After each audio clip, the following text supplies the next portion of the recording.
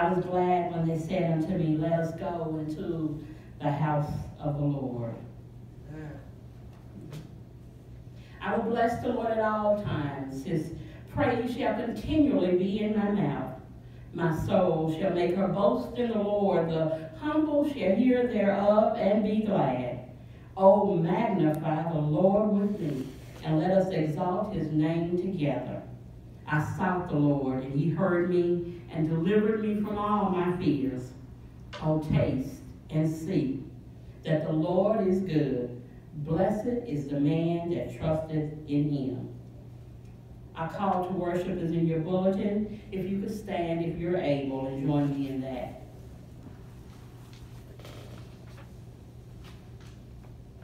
Come to worship Jesus Christ, Alpha and Omega, the one who is, who was, and is to come.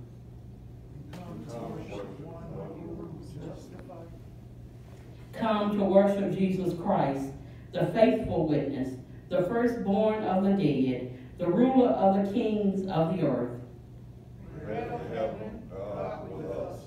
Good shepherd, true vine. Wonderful counselor, prince of peace. We come to worship Jesus Christ, King of kings and Lord of lords. To him be glory and dominion forever and ever. Amen. Our opening song is found in the insert in your bulletin, Awesome God. Would you join me in singing?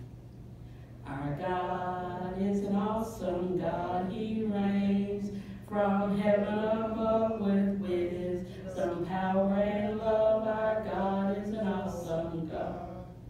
Our God is an awesome God.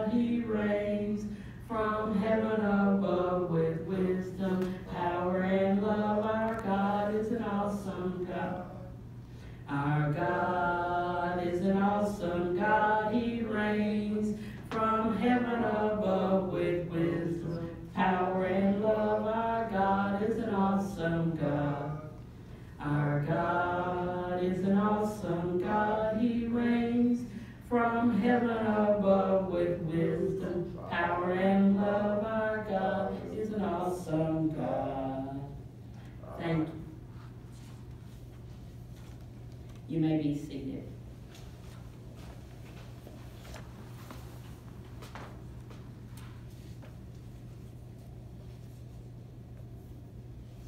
Would you join me in prayer?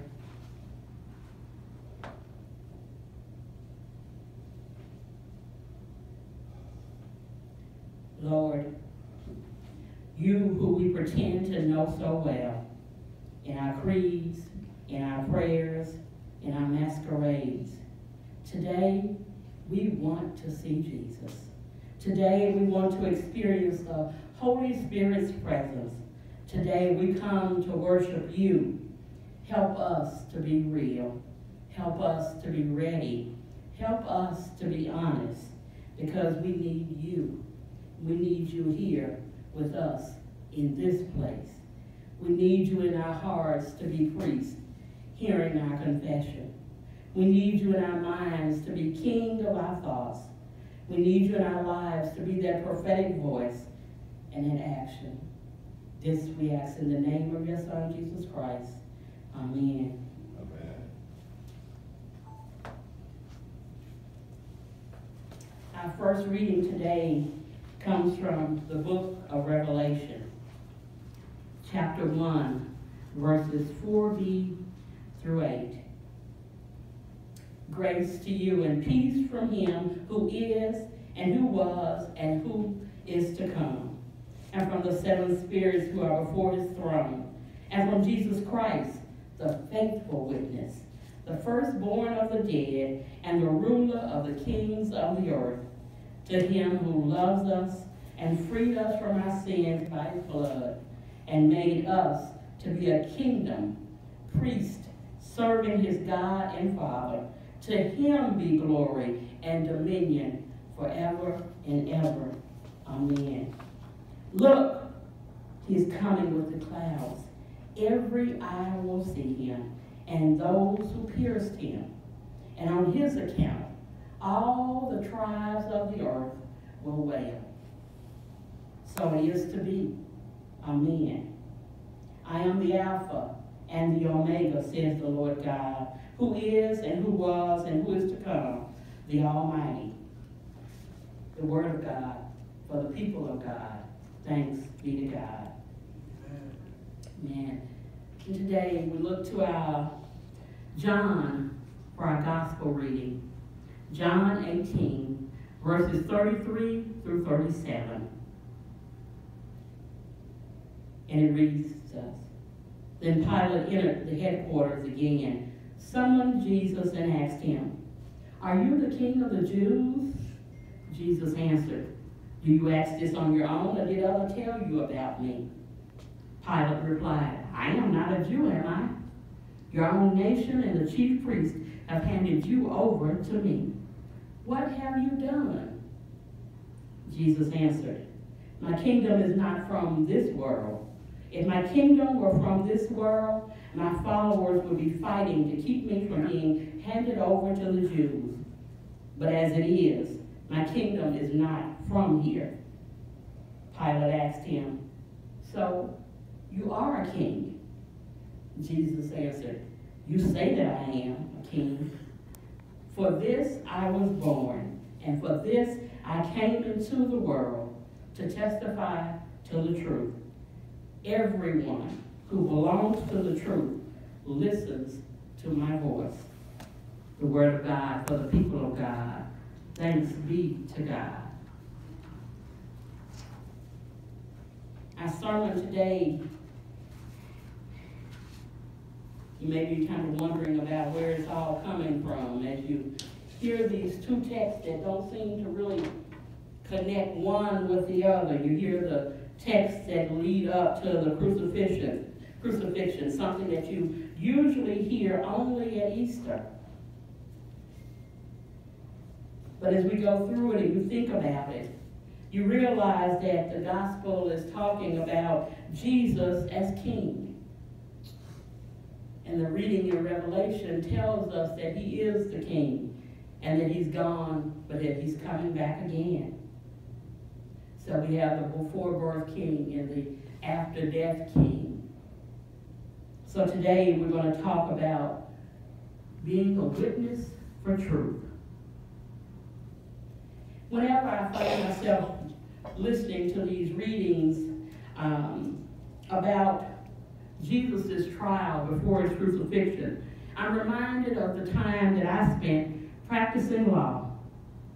Lawyers are trained to ask yes or no questions of witnesses who are hostile to them. By that I mean those who are not necessarily believing or thinking as what it is you're trying to prove. And it's a way of controlling the information that a witness is able to present to the judge or the jury.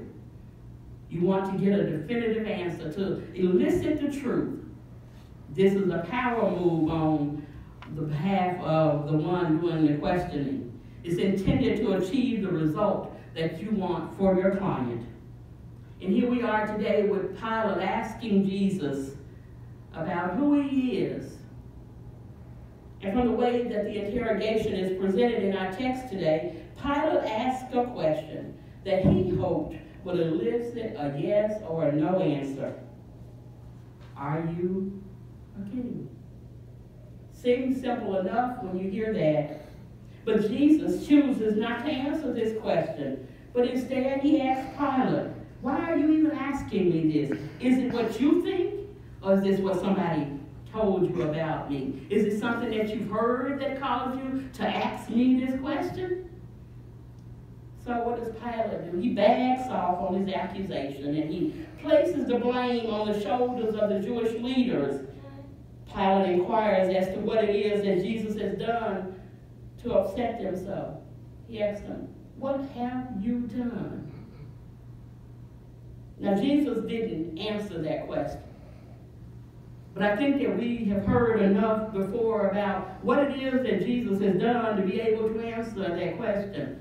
You see, Jesus has healed the sick. He's been with those who were considered sinners. He sat at the table with them. He's met with tax collectors. He's forgiven sins. He's healed on the Sabbath, things that people say should not be done. You see, Jesus has turned over the tables in the temple. So when Pilate asked him, Jesus, what have you done to upset them? His list could have been quite long as he answered that question. But Jesus chose not to respond. But I'll ask you, what has Jesus done for you? How have you seen him move in your life? Jesus' reply goes way beyond what Pilate had hoped to discover or get as an answer to that question. See, he was still looking for the truth.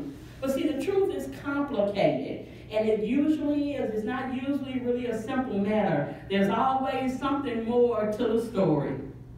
Jesus doesn't answer Pilate's questions, for this isn't about what Jesus has done. It's about who he is. So in reply, Jesus declares that his kingdom is not of this world. You see, kings are political. And Jesus is establishing that his kingship and his kingdom have no connection to politics. In those days, to claim to be a king was dangerous.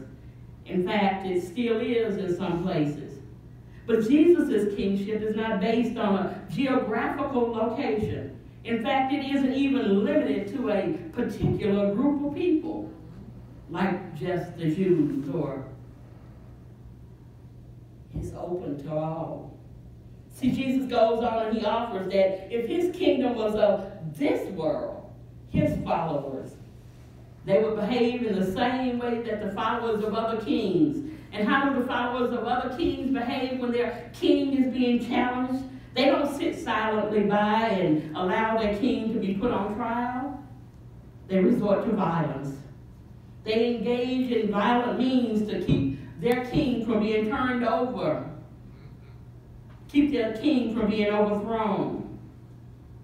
You see, if his followers were like the followers of other kings whose kingdom is of this world, they would have kept him from being turned over to Pilate. Jesus' kingdom is where God's will rules, and it isn't achieved by acts of violence. Jesus' proclamation regarding his kingdom does little to enlighten Pilate. Pilate continues to be confused. He still doesn't get it. It's still not really making sense to him. What do you mean your kingdom is not of this world? See, he has limited understanding. See, he's only speaking in the physical. He doesn't understand the spiritual.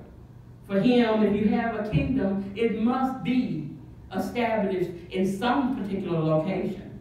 And you've got to have some specific group who's following you. But see, that's what happens when you enter a situation, assuming that you know the truth. You continue to look for that answer, the answer that you think is there. So Pilate makes what seems to be a declaration this time. It's like, well, if you want to answer my question, maybe if I just simply put it to him, he'll respond in kind. So he said, so you are a king. But this time, Jesus turns the table and is even more direct in his answer to Pilate. And he tells him, That is what you say. Hmm. I didn't say that you did. That is what you say. Jesus then attempts to simplify it for Pilate. Jesus tells Pilate that this isn't some idea that he just thought up. This is the reason for his existence, his whole reason for being. This is why he was there. And that's what he was doing when he was sent here to do. See, every action he had taken, every move he had made was what he was sent here to do. Every time he healed the sick, that's why he was sent. When he was 12 years old and his parents had gone off and left him, and they went back and found him in the temple, and they asked him, What are you doing here? Why didn't you come with us? Why you had us so scared and worried? He said, Don't you know I'm here to be about my father's business? Where else would I be but in my father's house? His whole life has been about doing what he was sent here to do. He came to share the truth. He came to speak truth to power.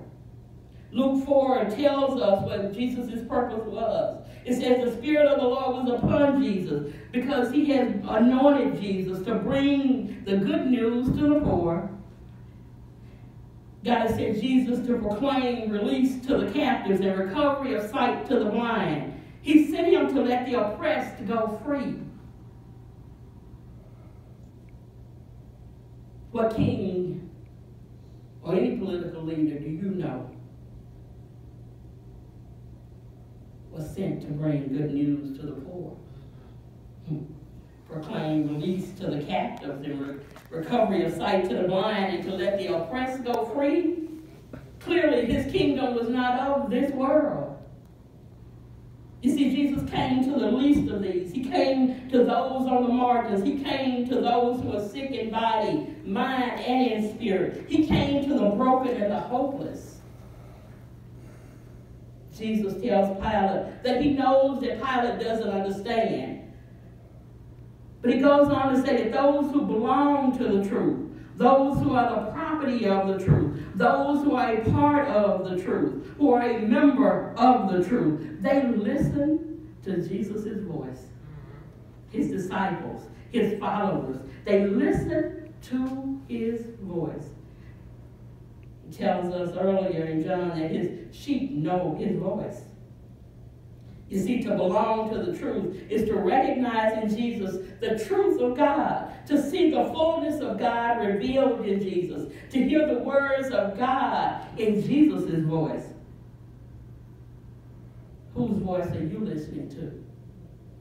You see, we give power to the voice that we listen to. We allow them, those who speak, whose voices we listen to, to determine our own truth. You see, our world is filled with voices. Voices of friends, voices of families, voices of political leaders, voices of the doctors, voices telling us who we are and who we aren't. There are voices telling us we aren't good enough, voices telling us we aren't worthy, voices from the outside, and even voices from the inside. Even our own voices condemning us, degrading us, limiting us, isolating us, excluding us. Voices that speak hate and not love. Voices that discriminate and voices that misidentify. Voices that tear down but not build up. Whose voice are you listening to? When we find ourselves in that place of struggle, of challenge, a place of pain and despair, a place of uncertainty and confusion, it is easy to listen to the voice that speaks the loudest. The voice that seems to have all the answers to those questions that we haven't even bothered to ask. You see, some of those voices even speak a portion of the truth. But be not deceived. You see, Jesus came to testify to the truth. He says that he's a witness to the truth. Pilate thought that Jesus was a witness for or against himself, but Jesus was a witness for the truth. You see, truth is the word become flesh. Truth is that God loved the world so much that he sent Jesus so that all might be saved through him. It is through Jesus that we come to know God and God's love. And we too are called to be a witness to the truth. You see, as a lawyer, when a witness is under a certain age, usually the age of 12, the lawyer calls, who calls the witness to testify has to prove that the child knows what the truth is. The questioning usually goes something like this. The lawyer asks the child, do you know the difference between the truth and a lie? And the child usually says yes. And the lawyer then asks um, older children, well, what is the truth? And what is a lie? But for younger children, they get to lead the question a little bit, and he, the question becomes, Is it true what really happened? Or is it something that you make up? And hopefully the child will answer correctly and say that the truth is what really happened. But see, that's not enough to qualify this child and to prove that he really knows what the truth is. So he has to go on even further with the questioning. So he has to make sure that the child understands what he's saying. So he'll say something like, if I said your shirt was purple, would that be a truth or would that be a lie? Verification of the truth. But see, here we aren't talking about that physical truth, we're talking about a spiritual one. A spiritual truth. The truth that isn't always so easy to ascertain as to ask the question of, is your shirt purple? We're talking about a truth that's difficult to understand if you are not a follower of Jesus. A truth that we haven't always received openly. A truth that sometimes we want to turn back on. A truth that requires something of us. You see, the truth requires us to be a witness to the truth. What do our lives witness to? Well, see, John tells us that we are to worship God in spirit and in truth. God tells us that we are to love our neighbors as ourselves. Now, how do we love our neighbor as ourselves if we have not figured out how to love ourselves? If we're listening to the voice not of the King of Kings and the Lord of Lords, but the voice that says that you don't matter. Are people able to come to know God and God's love through your actions? Do we actually love God and each other? Being witness for the truth is about being in relationship with the King. It's about a King who willingly gave up his life so that we might have eternal life. It's about a King who says that we are fearfully and wonderfully made, regardless of what the other voices say. It's about a King who promised to never leave us or forsake us. It's about a King who sent us a comforter so that we'll know that we have not been abandoned in our time of need. We have a king who knows our struggles, a king who has known sorrow and pain and betrayal. We have a king who forgave those who forgave those who even killed him. You see, being a witness for the truth is about a God who is with us in our suffering. Being a witness to the truth means that we have to be willing to speak the truth and just as Jesus did, sometimes it requires us to speak truth to power. When you become a witness in court, you take the oath. Do you swear to tell the truth, the whole truth, and nothing but the truth? So help you God. What is your truth? What does your life look like? How do we live such that we true are witnesses for truth? Not what we say, but what we do. How we actually live out the truth in our lives. There's a story about an Amish man, and there was an evangelist who was visiting. An Amish man was uh, went and asked, I'm sorry, the evangelist went and asked this Amish man whether he had been saved and whether he had ever accepted Jesus Christ as his Lord and Savior. Well, you know, the gentleman replied, why do you ask me such a thing? Kind of makes you think about Jesus a little bit, doesn't it? Why are you asking me this? Did somebody tell you something? But the Amish said, I could tell you anything. But here, here are the names of my banker, my grocery, my farm's hands. Ask them if I've been saved.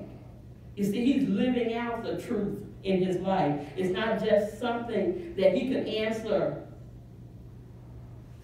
And see, he was like Jesus. He knows that to answer the question is not always the full and complete answer. Answering the question doesn't make it the truth. It's the truth as you understand it. But the question becomes, how are you living your life? When people see you, do they see the God in you?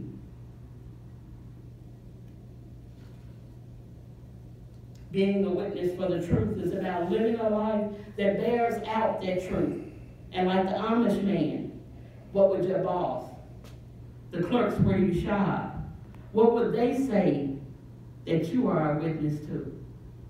What do they get by watching you, by seeing you?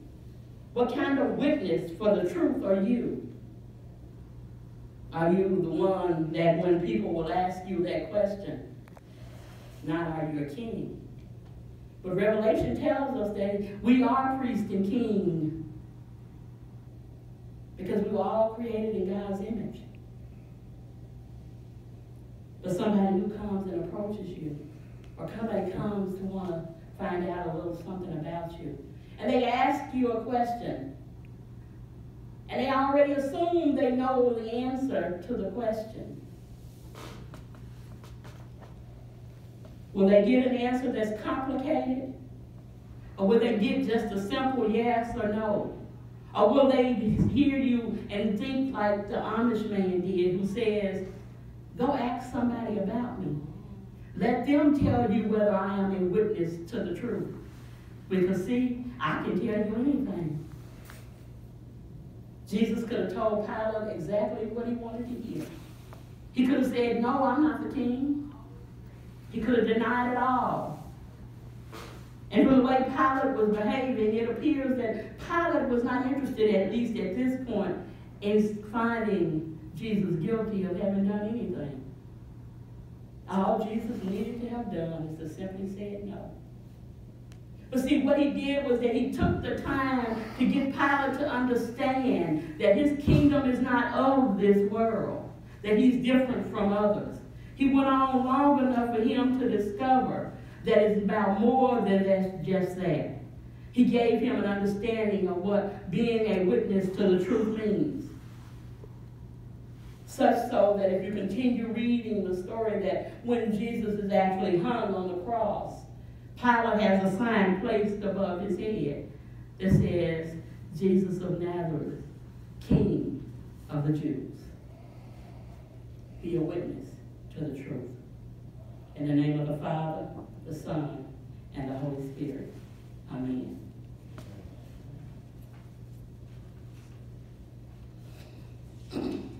Our closing song is soon and very soon, and it's found in your bulletin.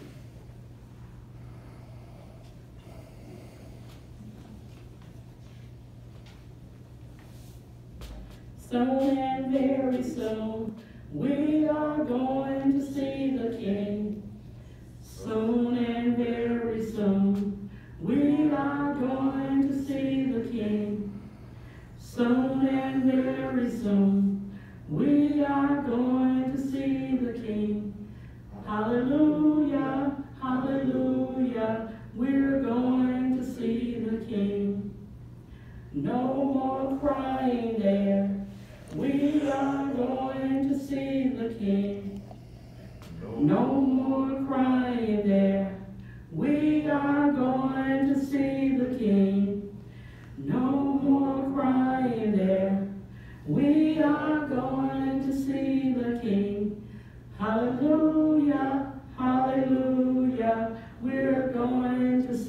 the King.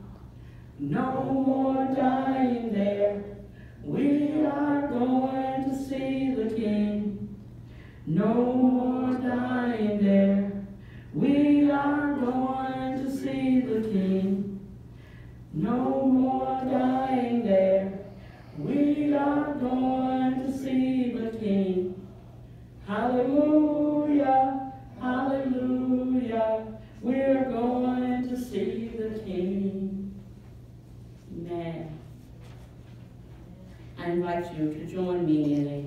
moment of silence as we think about the word that we've heard today and to think about how we can all be witnesses to the truth.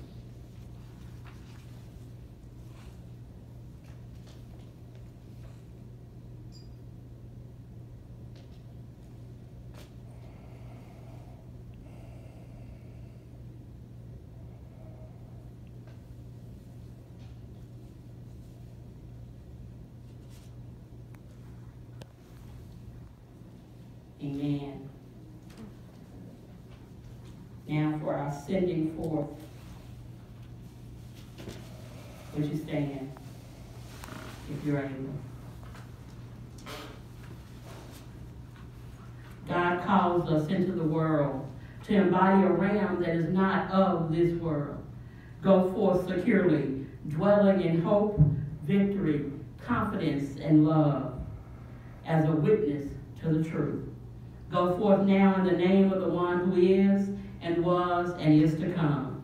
May God's grace and peace be with you. Amen.